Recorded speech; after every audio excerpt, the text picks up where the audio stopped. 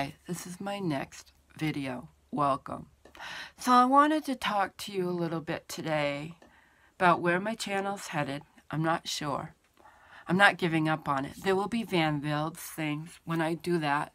It's a slow process. I have done some stuff, but I'm kind of holding on that for now. And but what I really wanted to talk to you today about is having a down day. And today is a down day for me. We all need them. And I struggle to give myself permission to have a down day. When do we need a down day? And what really is a down day? We need a down day when you've been going here and there and you're running around chasing your tail, the proverbial tail, and you, you feel like you're not getting anywhere.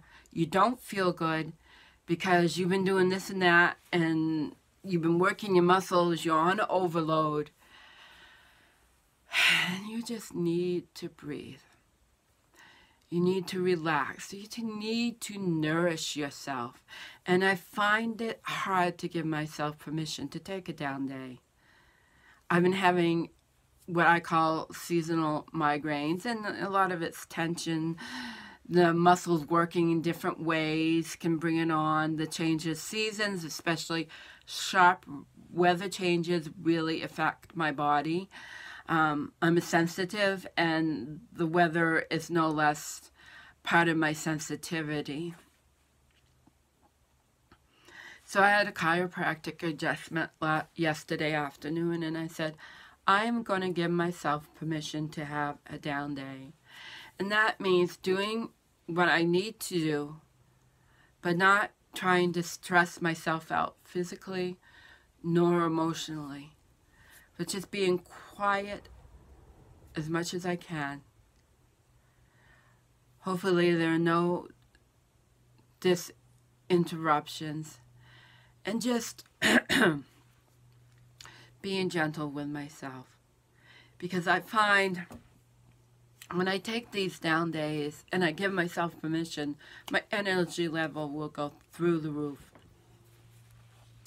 Now, if you're into fasting, you could take these days to start a fast. I'm I'm not really into fasting. I do intermittent fasting, which means um, I only try. I try. I mean, it don't always work, but I try to eat within a short window. So it's definitely intermittent because it doesn't happen all the time depending on my day. Like if I don't get home, if I'm gone off for the morning and I don't get home till late afternoon, then I don't fit into that window of my eating time.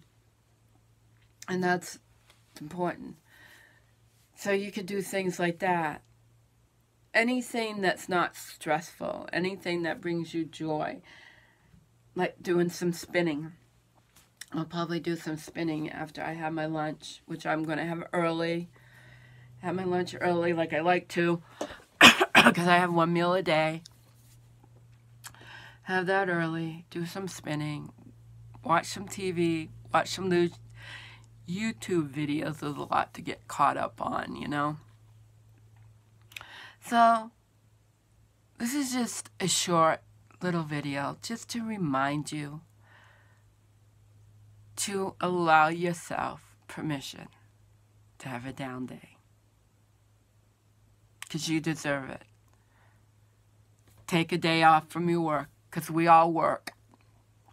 Whether we work inside the home or out of the home, we all need a down day once in a while. Where we just need to be quiet. And perhaps listen. Or maybe not even listen, just be quiet. And say,